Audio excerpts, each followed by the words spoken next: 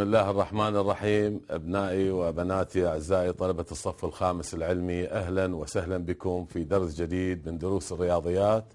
وإحنا اليوم في الفصل الثاني وفي موضوع المتتابعات. وراح نعرف شنو المتابعات شنو أنواع المتابعات كلها راح ندرسها إن شاء الله إذا الله خلانا طيبين بالتفصيل. زين. ونريد نعرف المتتابعة يعني من اسمها؟ متتابعة. تجي سلسلة أرقام متتابعة شيء بعد شيء شنو هي المتتابعة؟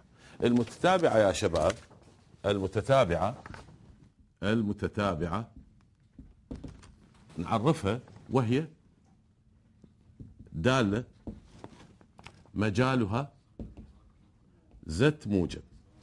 مجالها مجموعة الأعداد الصحيحة الموجبة. المتتابعة وهي دالة مجالها زت موجب مجموعة الأعداد الصحيحة وهي أيضا وهي دالة آه، غير منتهية. دالة غير منتهية أو تسمى متتابعة أيضا وتسمى متتابعة غير منتهية. زين. أما المتتابعة أما المتتابعة المنتهية والتي تكون أو التي تنتمي إلى زت موجب وتبدأ بإيش؟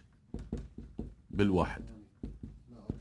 يعني بكلام بسيط المتتابعة عندنا نوعين متتابعة منتهية اللي مجالها هو زت موجب عفوا المتابعة غير منتهية ومجالها هو زت موجب. والمتابعة المنتهية اللي تبدأ من الواحد وأيضا هو مجالها زت واحد. يعني مثلا اللي مثلا مجموع عناصرها هي واحد اثنين ثلاثة أربعة. هذه هي يعني خمسة زين. هذه يسموها عفوا تسمى أيضا هاي ممكن مجالها لأنه هذا ينتمي إلى زت موجب. زين. لكنه أكو أحيانا متابعات ما تصير عندنا.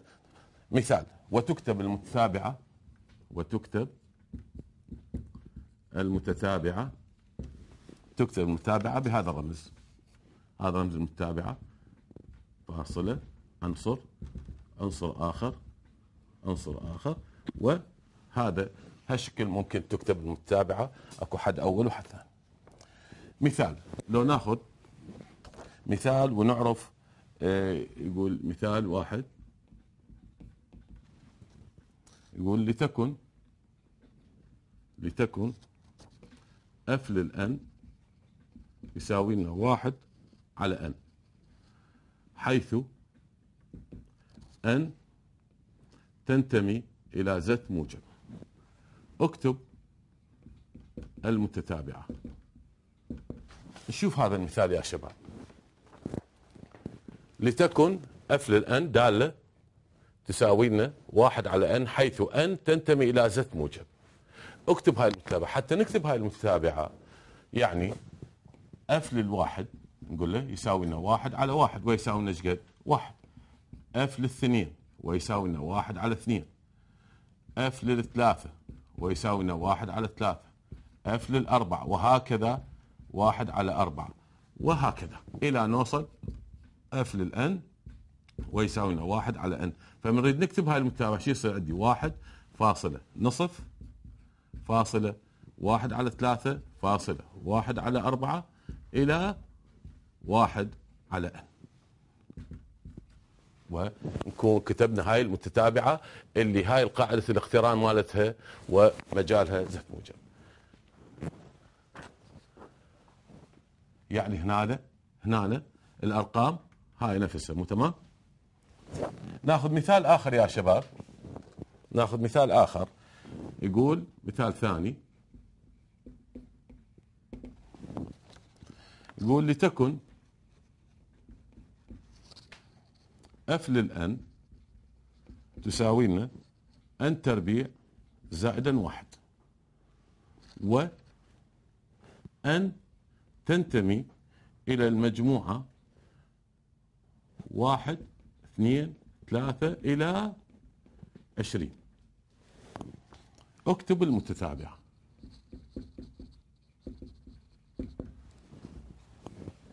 طيب خلي ببالك وليدي. أي متتابعة؟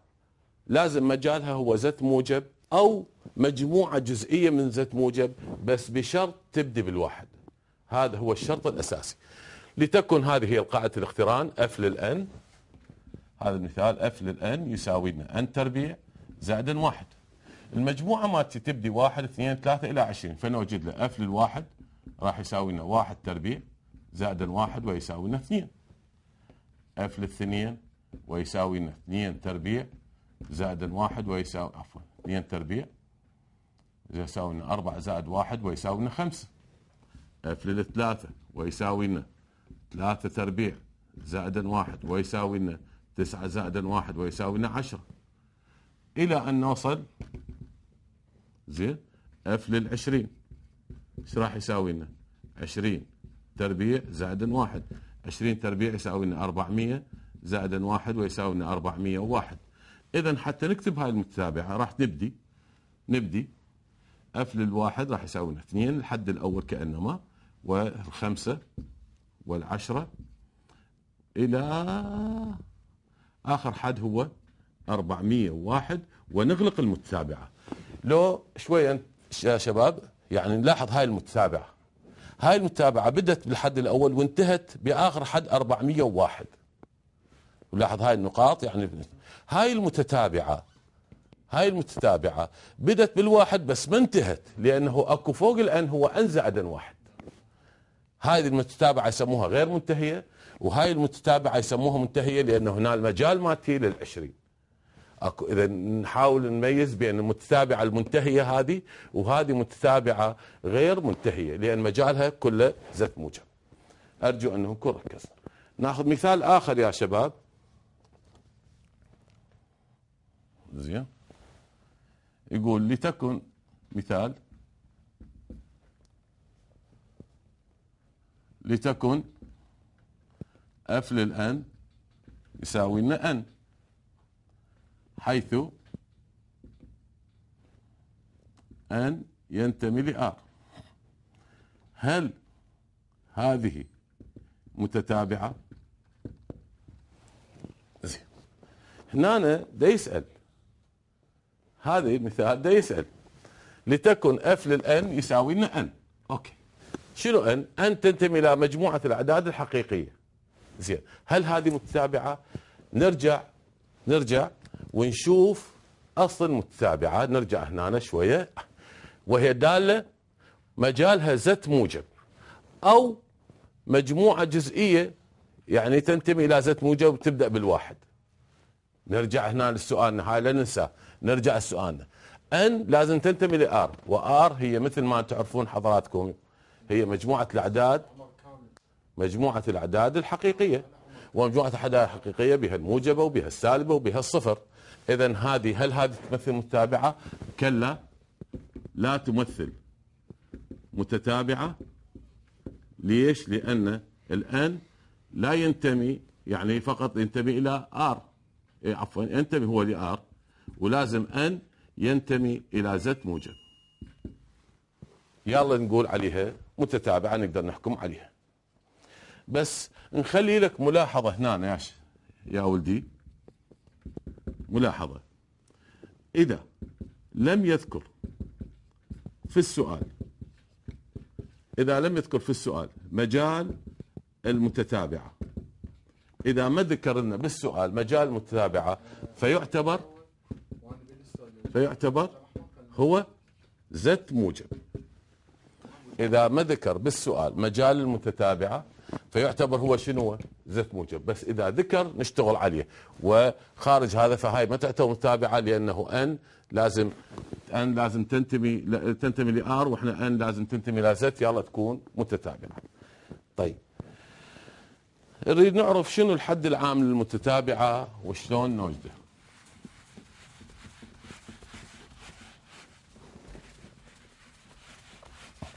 الحد العام للمتتابعة الحد الحد العام للمتتابعة. أو ما يسمى ما يسمى بالحد النوني.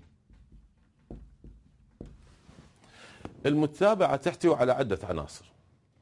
أي متتابعة تحتوي على عدة عناصر. يعني مثلا هذا الحد الأول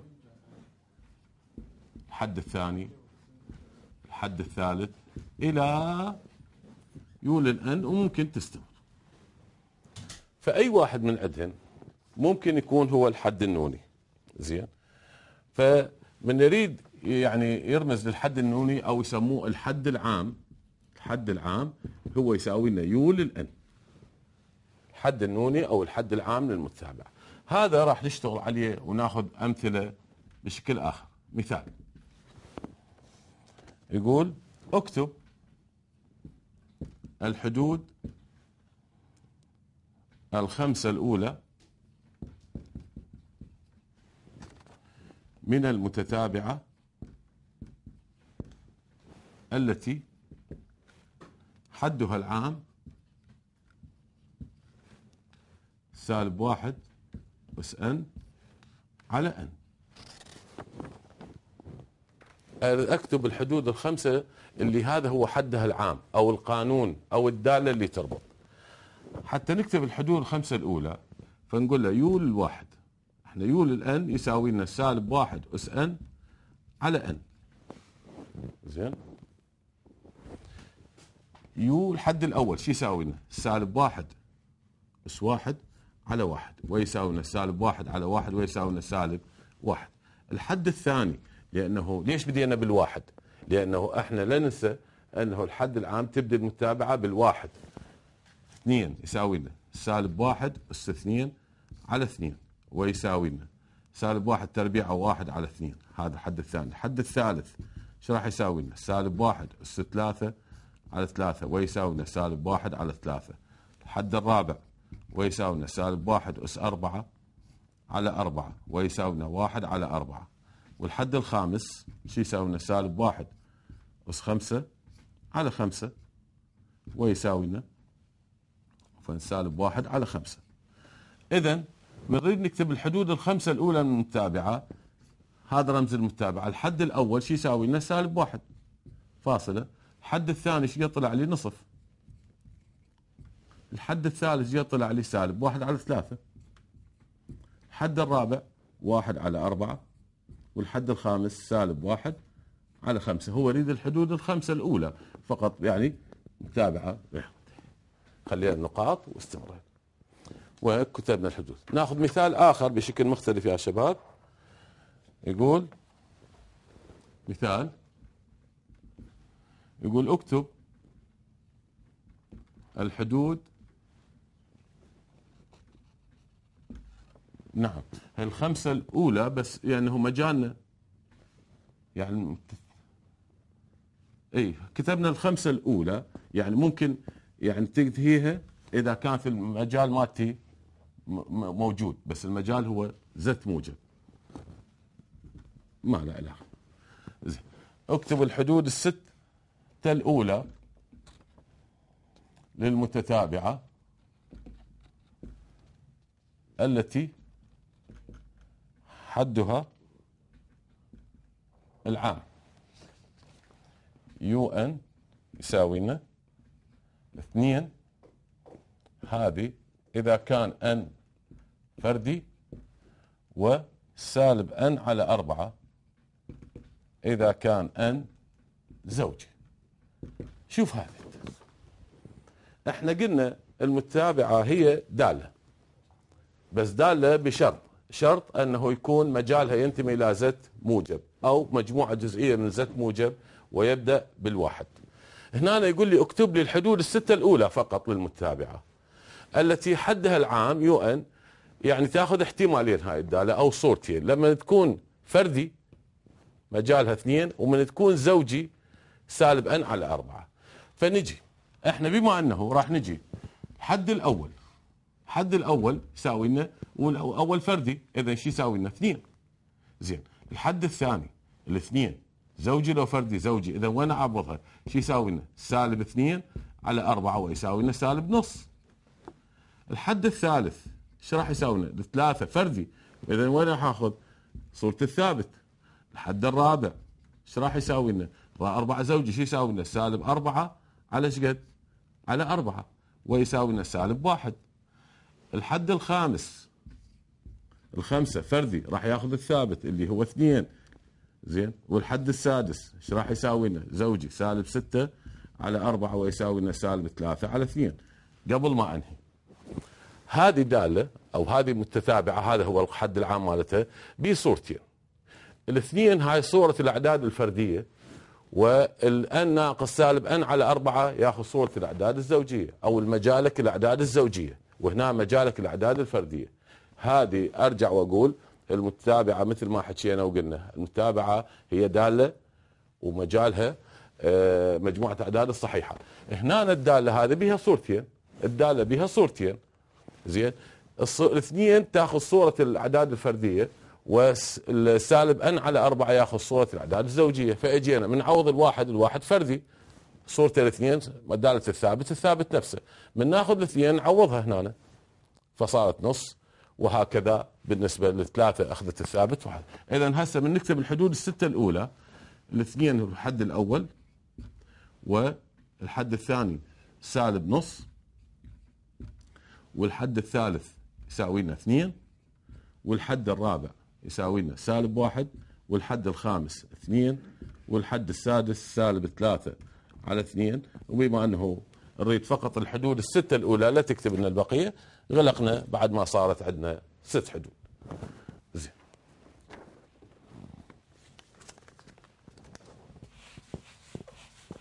منتهي.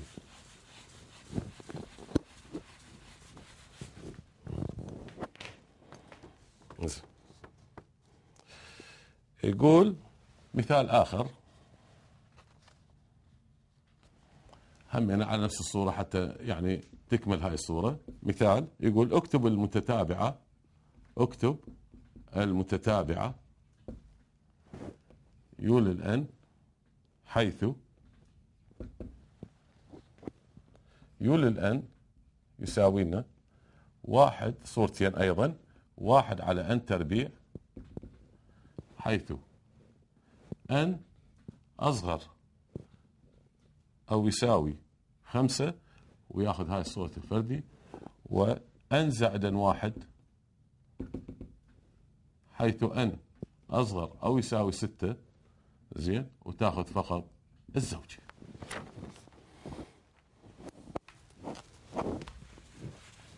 نشوف هذا المثال يا شيخ. ولدي شوف هذا المثال اللي عندنا. يقول أكتب المتتابعة. يول الآن حيث حد العام مالته أيضا تأخذ صورتين الصورة واحد على أن تربيع تأخذ الأعداد فردية وحدودها أصغر أو يساوي خمسة. يعني أبعد شيء أقدر أوصل له خمسة. والصورة الثانية للحد العام هو أن زائدا واحد ويأخذ الصورة الزوجية وأن تنتهي بالأصغر أو يساوي ستة. يعني أبعد شيء أقدر أوصل له ستة.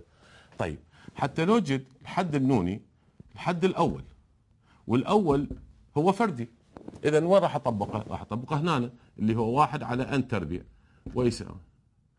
واحد على واحد ويساوي لنا واحد. طيب. الحد الثاني أو الاثنين اللي أخذها لأن المجال عندي هو من واحد صعودا.